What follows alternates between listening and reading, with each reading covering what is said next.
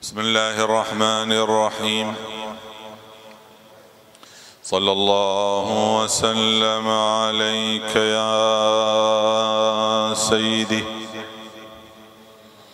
ويا مولاي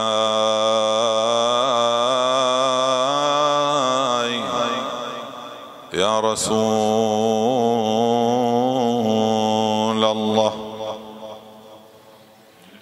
وعلى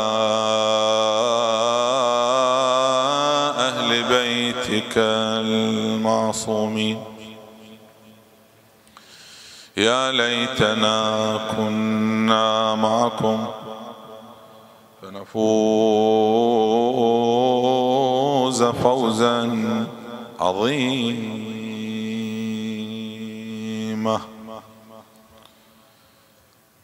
عدل الحسين لعمرة قل للعدول يكف عدله. فأحل من إحرامه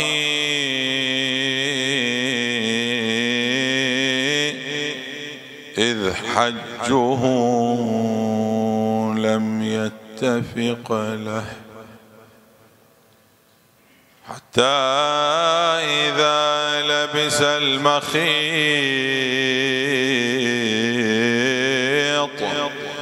وفي المحامل ضم أهله وتزلزلت أرض الحجاز لفادح. لم تلق مثله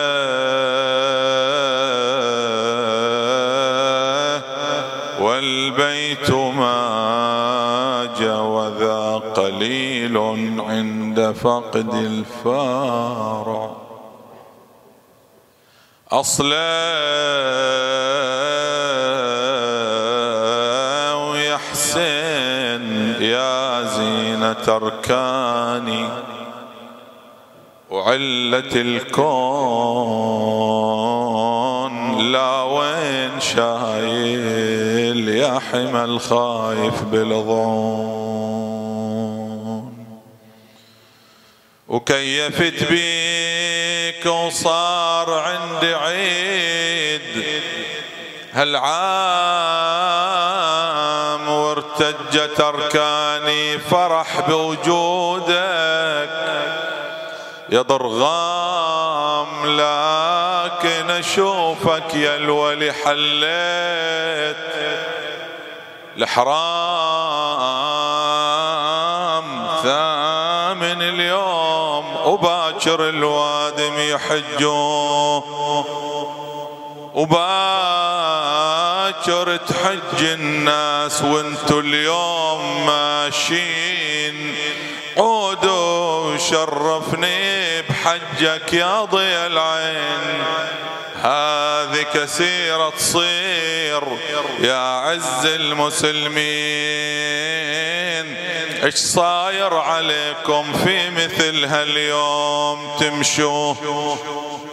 ورد الجواب لسان حال حجة الله. ماشين عنك بالغصب يا كعبة الله.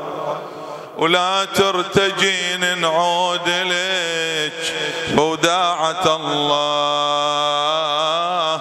جنود الضلالة رايدة دمي يسفكوه إنا لله وإنا إليه راجعون. قال الله العظيم في محكم كتابه الكريم.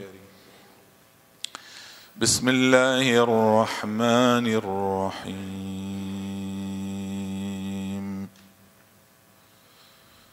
وإذ قال موسى لقومه إن الله يأمركم أن تذبحوا بقرة.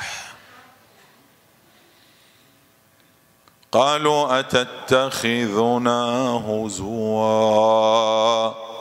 قال أعوذ بالله أن أكون من الجاهلين. آمنا بالله. صدق الله العلي العظيم.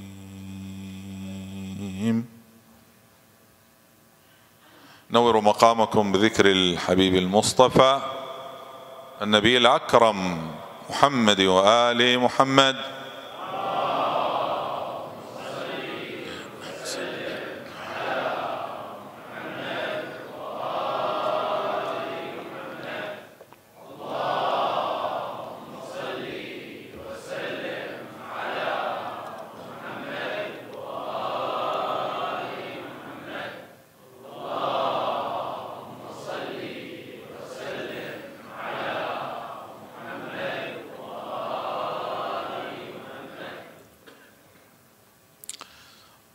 موضوع البحث هذه الليلة بعنوان الفهم الأوسع للدين. لماذا نتناول هذه المادة في مثل هذه الليلة؟ لسببين. الأول لكثرة التصنيفات الشائعة في المجتمعات المتدينة. مثلا ليبرالي علماني حداثي إسلامي وأغلب هذه التصنيفات تبنى على أساس الدين. يعني التصنيفات الأخرى التي لا تبنى على أساس الدين وإنما تبنى على أساس العلم فيزيائي كيميائي. مثلا يعني. فلكي هذه تصنيفات مبنية على أساس العلم. أو على أساس الممارسة. محقق. مثلا يعني مدقق. مثلا علامة. مو مبنية على أساس الدين. الكلام التصنيفات التي تبنى على أساس الدين. بسبب كثرة التصنيفات واحد اثنين. بسبب التعصب لبعض الأفكار لكن ليس مطلقا وإنما بالشكل الذي يؤدي إلى إقصاء من لا يعتقد بتلك الأفكار من ساحة الدين. أن يتعصب الإنسان لفكرة يعتقدها ويقف هنا ضرب فرامل ما في إشكال. بمعنى تعصب هنا إيش معناه بمعنى أنه اعتمد على أدلة في نظره أن هذه الأدلة تورث اليقين تورث العلم. شكلها تكشف له عن الحقيقة فيتمسك بقوة بالفكرة هذا ما في إشكال. هذا شيء طبيعي أصلا في الحياة. لكن أن يتعصب على فكرة بالشكل الذي يدعو لإقصاء غيره عن دائرة الدين عن دائرة الإيمان. هذا الكلام الذي أتحدث عنه. كثرة التصنيفات المبنية على أسس دينية والتعصبات في الساحة الدينية التي تؤدي إلى إقصاء الآخرين عن الساحة الدينية. عن فهم الدين عن الانتماء إليه. لهذا السبب يتم تناول هذا الموضوع بهالعنوان وهو الفهم الأوسع للدين. نتيجة البحث ستتضح في النهاية. كمدخل للبحث كمدخل للبحث سأتعرض بشكل سريع لقضية البقرة بحسب ما ورد في رواية صحيحة السند عن الإمام الرضا عليه الصلاة والسلام لأن ورد فيه تعابير أو تعبير مكرر ثلاث مرات. وهذا فيه إشارات ودلائل هامة. شلون يعني سبق أن أشرت هنا لعله أو في مكان آخر أن البقرة هنا البقرة في هذه الحادثة إن الله يأمركم أن تذبحوا بقرة البقرة هنا هي صورة للدين يعني. لأنه تعليم ديني لأنه أمر ديني أن تذبحوا. إن الله يأمركم فعل هذا. هذا حكم شرعي. يعني جزء من الدين يعني فرع من الدين. ولهذا البقرة هنا هي الصورة للدين. تعلمون أن رجل من بني إسرائيل أخذ فقط محل الشاهد. قتل قرابة له في رواية وفي روايات ابن عم قاتل الرجل الصالح خطب امرأة فقبلت به ابن عمه كان رجلا فاسقا. خطب تلك المرأة فرفضته. فغضب هذا الرجل الفاسق فاغتال الرجل الصالح غيرة. ثم وضعه على طريق أفضل سبط من أسباط بني إسرائيل في الرواية. طيب. ومضوا لنبي الله موسى يشكون. نفس الذي قتل هو الذي قاد هذه الحملة. ومضى لنبي الله موسى عليه الصلاة والسلام يقدم الشكوى أنه إحنا نريد ننتقم من الذي قتل ابن العم. هنا شاهدي هنا الحادثة طويلة تعلمونها وفيها تفاصيل نكات مهمة جدا. شاهدي هنا فقط في هالمقطع. قال إن الله يأمركم أن تذبحوا بقرة. شوف هنا بقرة الدين. وشوف التأكيد الذي ذكره الإمام رضا سلام الله عليه في الرواية الصحيحة ثلاث مرات. يعني هذا الدين. الثاني هم دين.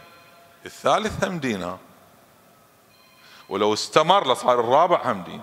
والخامس هم دين. والسادس هم دين. لكن مراتب وصور.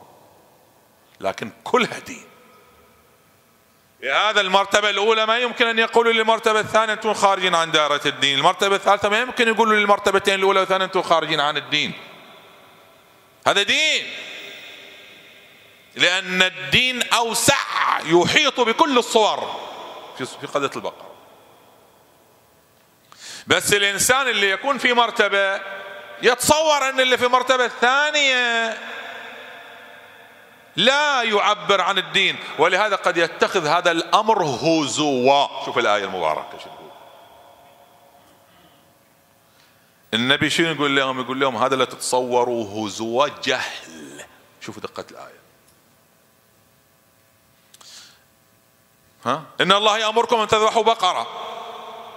يعني امتثل هذا دين. امتثلوا حكم الله. شوف الشاهد. قالوا أتتخذنا هزوا؟ الآن أن تذبحوا بقرة دين ولا لا؟ دين لو مو دين.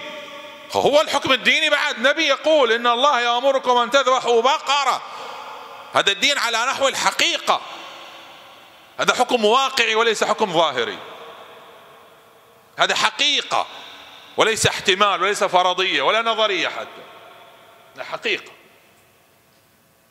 صحيح ولا لا؟ لأن النبي قال إن الله توكيد هنا إن الله يأمركم حتى مادة الأمر ذكرت أيضا. أن تذبحوا بقرة. دين لو مو دين دين. بس هم شنو تصوروا؟ تصوروا ليس دينا. ولهذا صاروا ينظرون له بشيء من الاستهزاء. شوف بعض الأحيان الإنسان يستهزئ يستحقر رؤية معينة قراءة معينة مع أنها تمثل الدين. اعتقادا منه أن تمثيل الدين فقط الصورة التي يعتقدها هو ولهذا ينظر إلى الصور الأخرى بنظرة الاستهزاء والاستخفاف. لا تقول له ذاك دين وأنت هم دين ما في مشكلة. قل أنا دين لكن لا تقول أن الثاني ليس دينا. لاحظوا؟ الفارق أين؟ تتخذنا هزوا؟ ماذا قال النبي موسى؟ قال أعوذ بالله أن أكون من الجاهلين. يعني الذي قلته لكم ليس جهلا وإنما هو علم. ذولا مجتمع متدين ذولا. الآن ذولا يتصوروا أن ذاك جهل بينما هو علم. لأن النبي يقول إنه ليس جهلا بل هو علم. تعلمون؟ المرة الأولى سألوا عن عمرها مرة ثانية سألوا عن لونها المرة الثالثة سألوا عن صفاتها. لا فارض ولا بكر عوان لا كبيرة في السن لا صغيرة وإنما وسط. الشكل ما لونها؟ صفراء. فاقع لونها. تسر الناظرين. مرة ثانية. ادعو لنا ربك. يبين لنا ما هي. الثانية المرة الأولى أيضا ما هي والمرة الثالثة ما هي. بس المرة الأولى بنظر العمر. المرة الثالثة بنظر الصفات. ولهذا الجواب إجا بلحاظ الصفات. لا ذلول ما مذللة مدللة يعني. مدللة غير مذللة. يعني ما يخلوها تشتغل في الحرث. ما يخلوها تشتغل في الحرث. يعني موضوعة في البيت فقط مثلا ياخذون منها الحليب ياخذون منها مثلا الكذا اللبن وشي لكن ما يخلوها تحرث. ها؟ لا تحرث الأرض.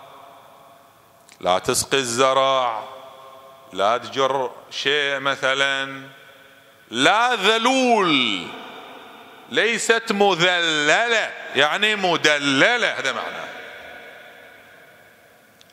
طيب الشاهد اين الشاهد اين في المرتبة الأولى لو ما سألوا جابوا أية بقرة دين لو مو دين. المرتبة الثانية لو ما سألوا عن لونها وجابوا أية لون دين لو مو دين. المرة الثالثة لو ما سألوا عن صفاتها وجابوا أية وحدة حتى لو كانت ذلول. دين لو مو دين؟ دين. ولهذا لاحظوا كلمة الإمام التي كررها ثلاث مرات في الروايات الصحيحة في الرواية الصحيحة. قال ولو أنهم عمدوا إلى أي بقرة. شوف ذاك دين. أي بقرة يعني أي أي صورة.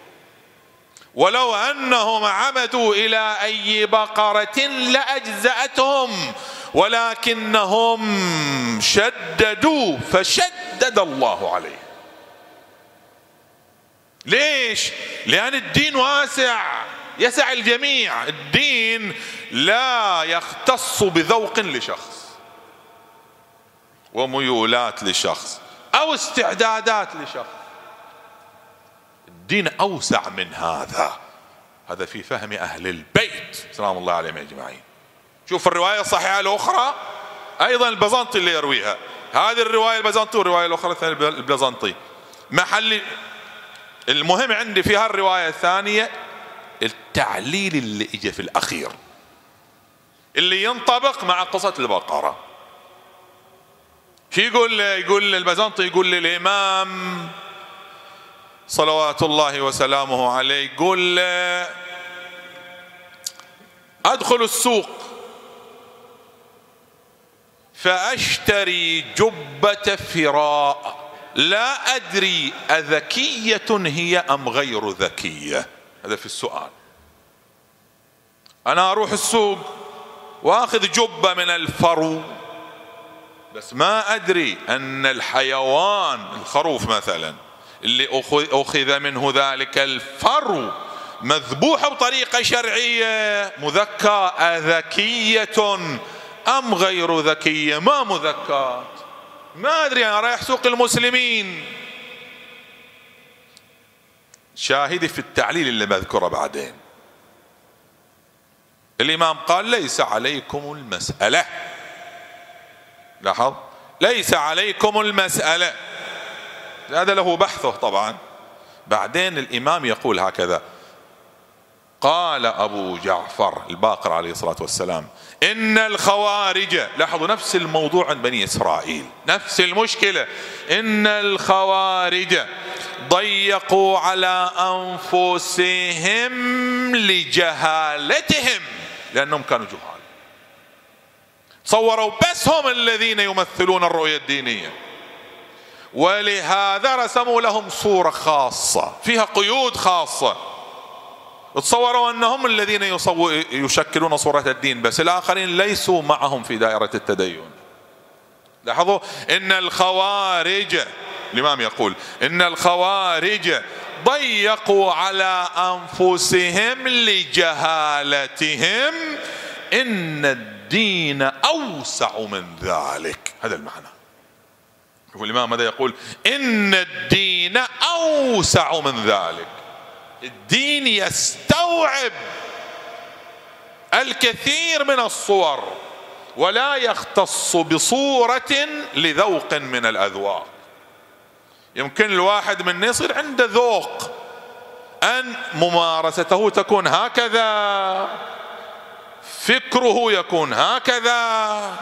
رؤاه تكون هكذا جيد لنقول هذا دين لكن لا نقول أن هذا هو ال. نحط نحط ال للتعريف. هذا هو الدين لأن إذا قلنا هذا هو ال هذه ال جبناها قلنا هذا هو الدين. معنى كل الذين لا يعتقدون بهذا التصور خارج الدين. نقول هذا دين. معناها أن هناك أذواق أخرى. هم دين. هناك تصورات أخرى. هم دين. ولهذا يجي رجل إلى الإمام العسكري صلوات الله وسلامه عليه صلوا على محمد وآل محمد.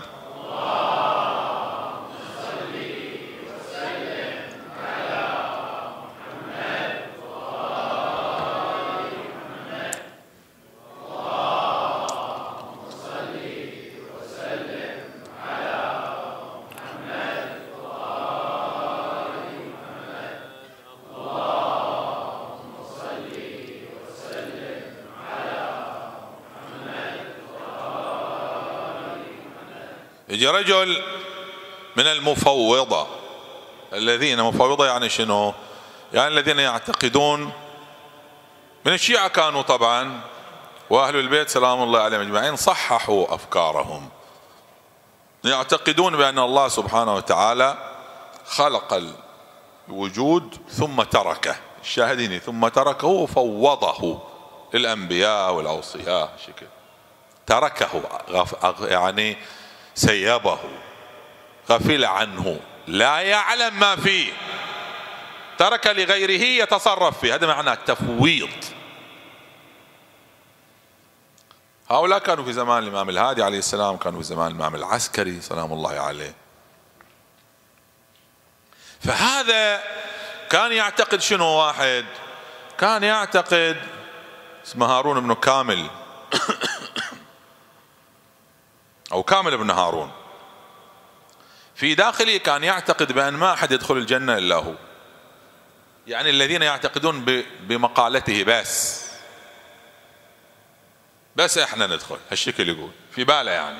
فيجي للامام العسكري سلام الله عليه يسأله عن هذا السؤال. حد يريد يقول ان يريد ينتظر إن الإمام سلام الله عليه سيقول له اي ما حد بيدخل الجنة إلا أنت. وجماعتك. يسأل الإمام تصور الإمام وش قال له؟ قال له اذا والله يقسم الإمام. اذا والله يقل داخلها. هالجنة اللي عرضها كعرض السماء والأرض بس أنتم تدخلوها. إذا والله يقل داخلها. بعدين قال والله ليدخلنها أناس يدعوا الحقية. قال ومن هم الحقية؟ قال يقسمون باسم علي بن أبي طالب ولا يدرون ما حقه. وهذه لها تحليل. يحب الإمام علي يقسم باسم الإمام علي بس ما يدري وش حقه هو ولهذا ما يتبع اتباع إمامه أصلا.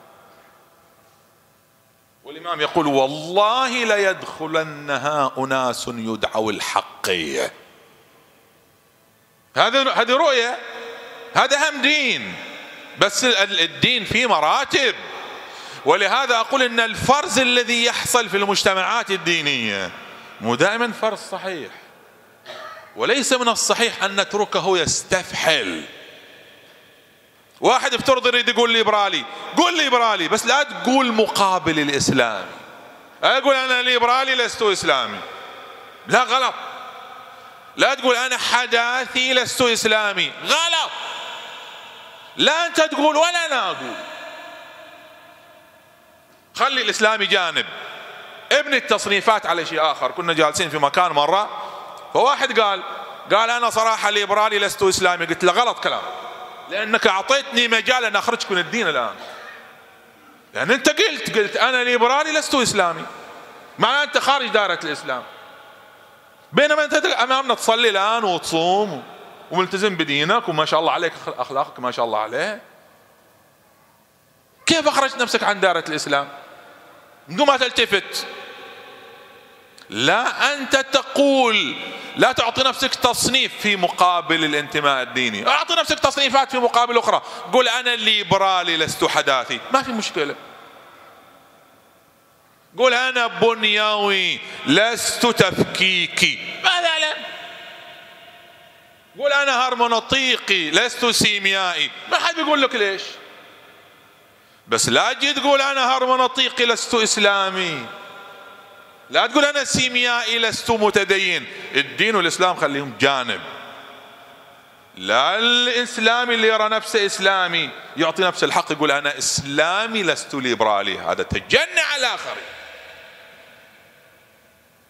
لا تقول أنا إسلامي لست حداثي. هذا تجنع على الآخرين.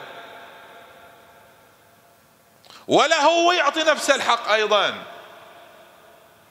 التصنيفات ليش؟ لأن الدين أوسع من ذلك يقول الإمام الباقر سلام الله الدين في داخله قراءات كثيرة أفهام كثيرة تصورات كثيرة وهو يسع الجميع.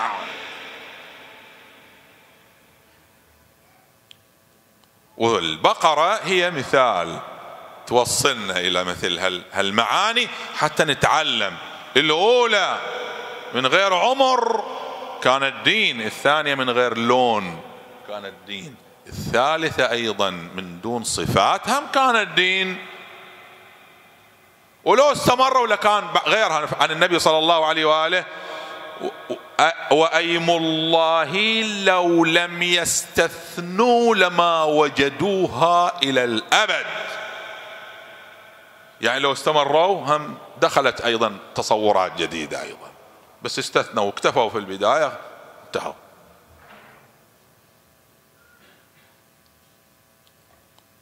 فذلك دين. ولهذا إحنا نشوف أهل البيت سلام الله عليهم أجمعين. هم ما أخرجوا العالم كله عن دائرة الدين. نعم هناك رتب. رتبة حبيب تختلف. حتى سلمان رتبته تختلف عن المقداد. مع أن مع أن وسلمان رتبته تختلف عن أبي ذر. مع أن أكو اعتقادات في في ذهن أبي ذر ها؟ في أكو تصورات في ذهن أبي ذر. توحي له أن بعض معتقدات سلمان كفر. ولهذا في الروايات المعتبرة لو علم سل لو علم أبو ذر ما في قلب سلمان لكفر. وفي رواية لقتله.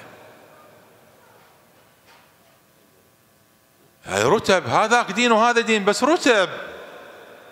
صحيح رتبة حبيب غير رتبة أي واحد. بس ما نقدر نقول له أنت خارج دائرة الدين. الذين لم يق... لم يشاركوا في النهضة الحسينية مو الذين وقفوا ضد الإمام الحسين اللي ما شاركوا في النهضة. رتبتهم مو رتبة مسلم بن عوسجي لكن ما نقدر نقول دولة خارج دائرة الدين.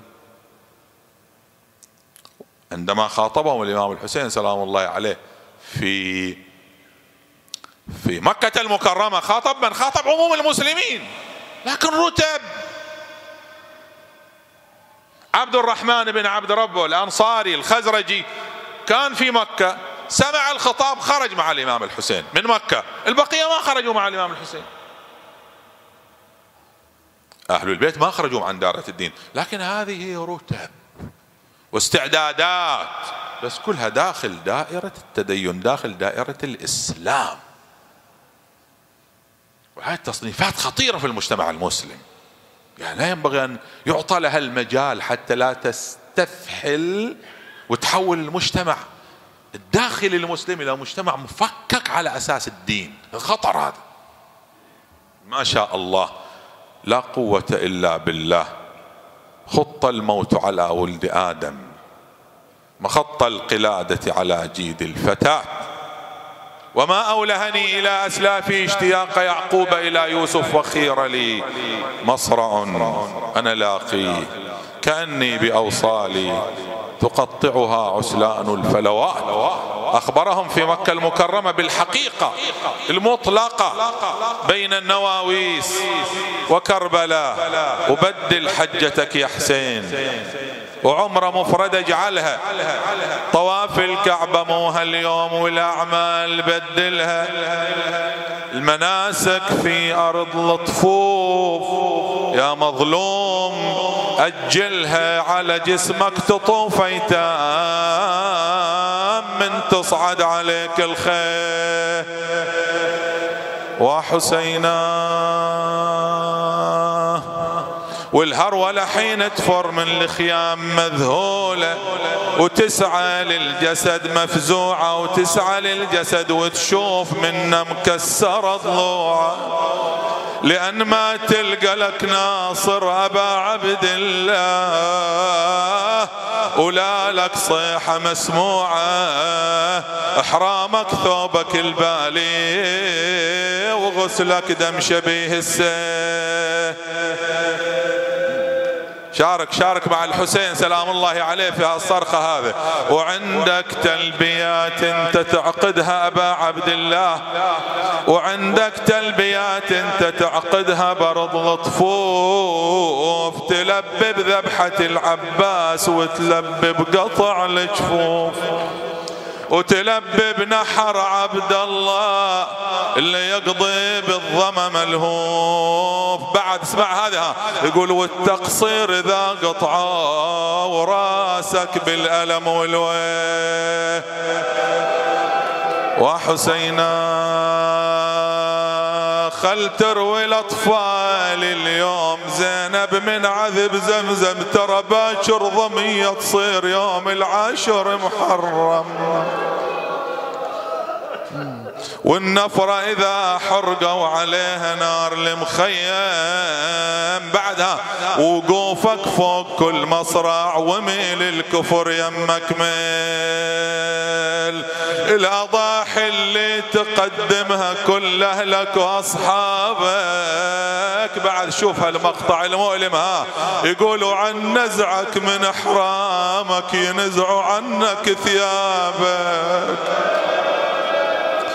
ورمي الجمرات اللي إذا ذاك الحجر صاب.